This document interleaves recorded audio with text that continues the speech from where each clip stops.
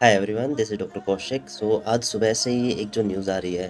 कि मध्य प्रदेश में अब एमबीबीएस जो सिलेबस है वो हिंदी में होने वाला है। एंड ये सुनकर काफ़ी अजीब सा लगा कि हम जो चीज़ें इंग्लिश में पढ़ रहे थे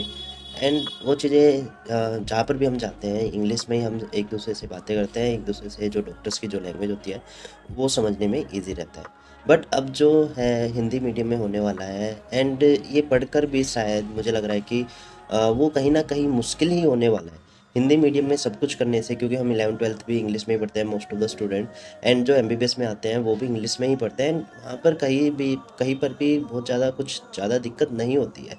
एंड अब हिंदी मीडियम में पढ़ना एनाटमी हिंदी मीडियम में पढ़ना एनाटमी इतना मुश्किल होता है वैसे ही एंड अब उसको भी हिंदी में पढ़ना तो सच में बहुत बहुत ज़्यादा मुश्किल होने वाली है। एंड आजकल तो कोई भी स्टूडेंट अगर मुझसे पूछता है कि भैया हमें एमबीबीएस के बाद हमारा क्या स्कोप है एंड ऐसे-ऐसे जब मेरे को जो गवर्नमेंट की तरफ़ से जो ऐसे अनाउंसमेंट मिलती है, तो वहाँ पर कहीं ना कहीं जाकर मैं भी ये सोचने लग जाता हूँ कि अब हमारा जो टाइम था एंड अब जो आने वाला टाइम है, वो बहुत बहुत ज़्यादा चेंज हो गया है।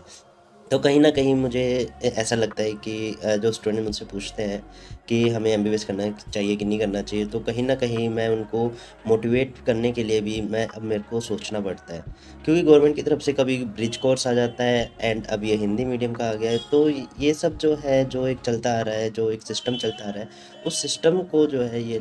खराब कर रहे हैं एंड मैं यही सोचता हूँ कि जैसा जो अभी तक सिस्टम चल रहा है, वो बहुत ही ज़्यादा अच्छा सिस्टम है एंड उसको ही कंटिन्यू करना चाहिए। दैट्स इट बाकी देखते हैं क्या होगा।